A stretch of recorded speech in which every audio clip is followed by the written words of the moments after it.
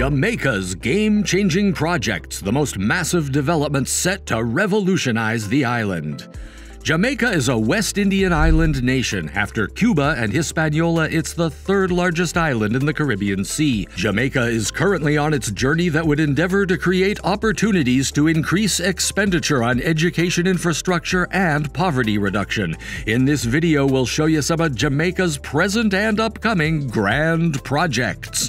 But before we jump into the video, don't forget to click like, share, and subscribe. The project to enhance urban roads of Jamaica has launched a $13 billion urban road improvement project that will focus on six high traffic corridors in the parishes where Arthur traveled, including Kingston, St. Andrew, and St. Catherine.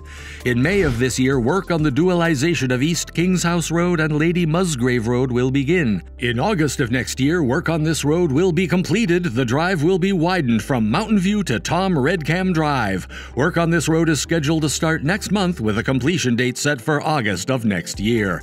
The majority of the 8,000 additional hotel rooms in various stages of development and planning are being led by European investors. A total of $2 billion will be invested to bring the 8,000 additional hotel rooms online, creating at least 24,000 part time and full time jobs, as well as at least 12,000 jobs for construction workers.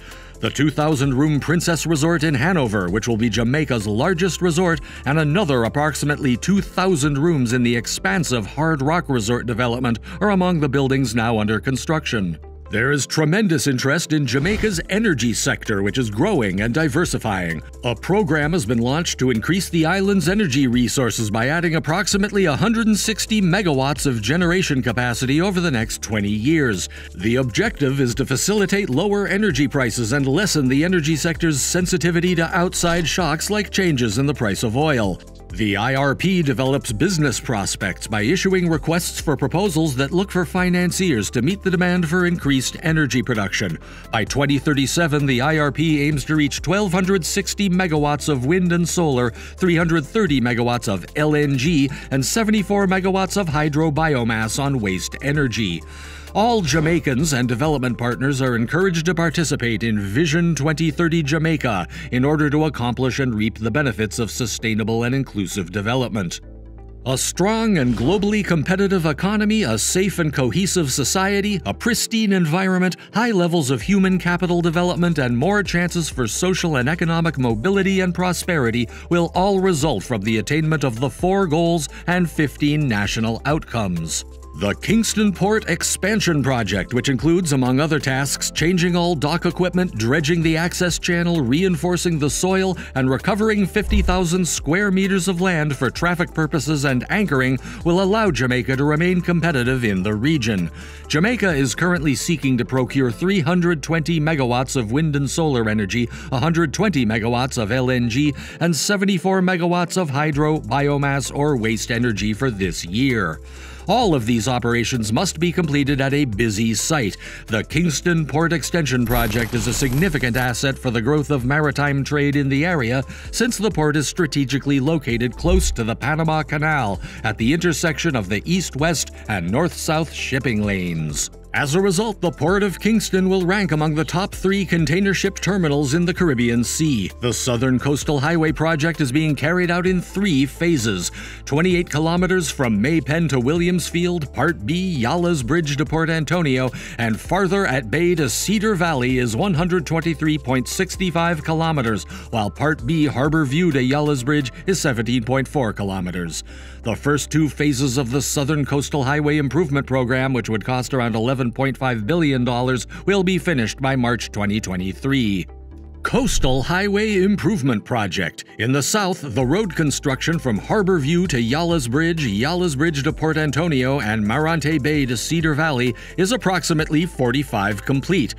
For those who have come in another segment under the Southern Coastal Highway Improvement Project is a May Pen to Williamsfield, which is approximately 81 complete. The highway, which began in January 2017, is now slated to end in March 2025. In order to make the existing southern coastal main arterial route safe, effective, flood free, and able to accommodate future expansion, the project aims to upgrade its alignment and capacity. In the Goodyear factory in the parish where the center is being built, preparatory and demolition exercises for the Morant Bay Urban Center started in July 2022. Once the center is finished, it will fit the parish's municipal corporation government entity's business process. University, among other institutions, outsources its work. Third Halt Golden Circle for the new legislative building is slated to break ground by year's end, and it is anticipated that this development will result in the creation of 3,000 additional additional employments.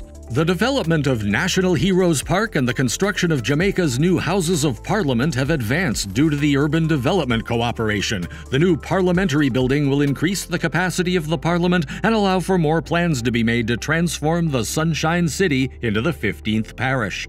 With the completion of the Long Hill Bypass, which involves building 10 kilometers of highway from Montego Bay down to Montpelier, and the 25 kilometer long Montego Bay Perimeter Road, which is being constructed in two segments from Iron Shore to Bogue, people will be able to travel from Kingston to Montego Bay along the Highway 2000 corridor.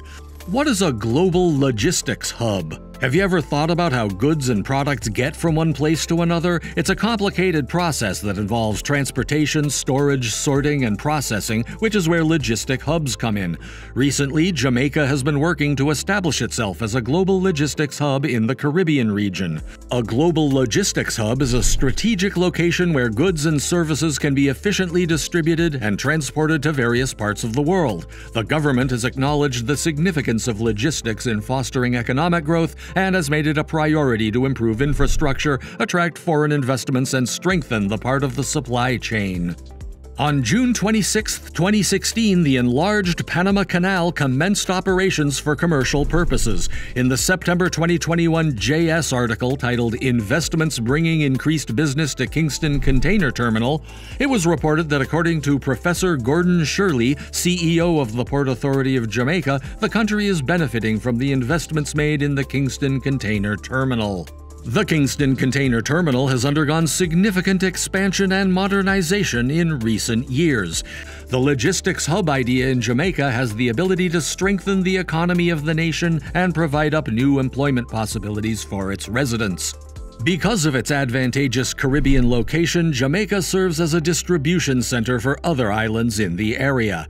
It is also conveniently close to major markets in North and South America, making it simple to move goods into and out of the country.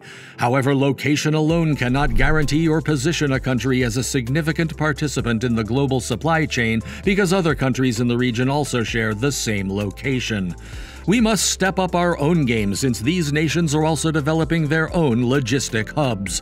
One strategy is to establish an infrastructure that is conducive to logistics operations. With that, we come to the end of this video. If you liked this content, show your love by clicking on the like button and also subscribing to our channel. Refer to other videos and also check out our playlists for more.